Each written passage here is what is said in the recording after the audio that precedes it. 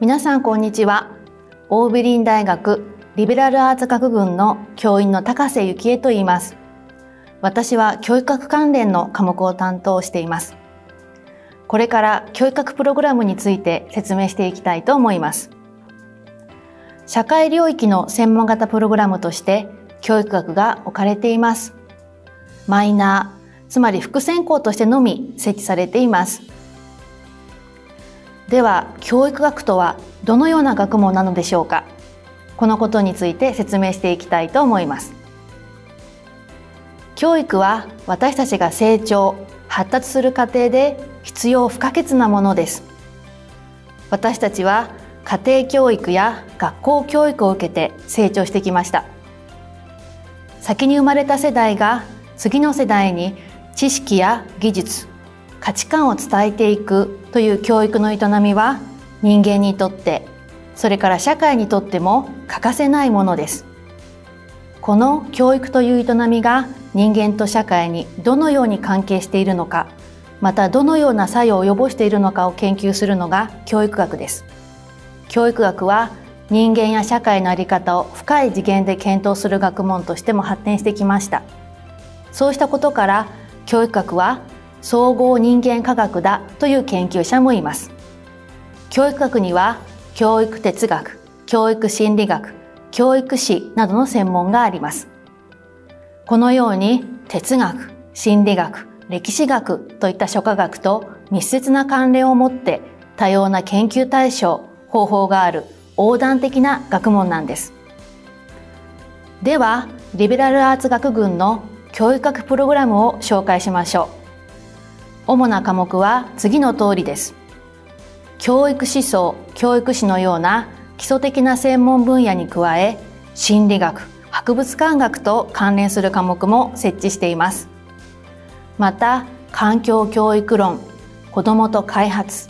現代アジアの教育と文化といった科目もあり国際的な視野からも教育が学べるように設計されています。先にお伝えしましたように教育学プログラムはマイナー副専攻での設置となっていますので他のプログラムをメジャー主専攻として組み合わせるということになります。その組み合わせモデルの例として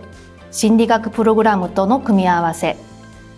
博物館学プログラムとの組み合わせを挙げることができます。教育学は人間や社会の在り方について考える学問ですからメジャーとする専門の学びに広がりと深みを与えてくれます。最後に教育学の魅力についてお話ししたいと思います。教育は人間の可能性を開くものです。先に生まれた世代から知識や価値観を次の世代は受け取りますが、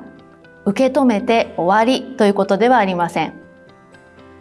これを受け止めた個人は、それをさらに発展させ、新たな知識、技術、価値観を生み出すことができます。つまり、教育は新たな社会を作り出す可能性も持っているのです。しかし他方で教育には恐ろしい面もあります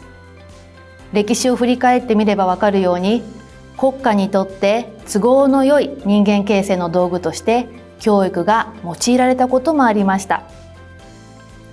教育は国家や社会と深く結びつき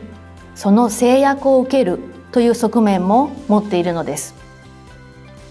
教育について学んでいくと人間の可能性について知ることができますし人間と社会が複雑に結びついているということも知ることができます。その複雑さを読み解く洞察力を身につけることができるでしょ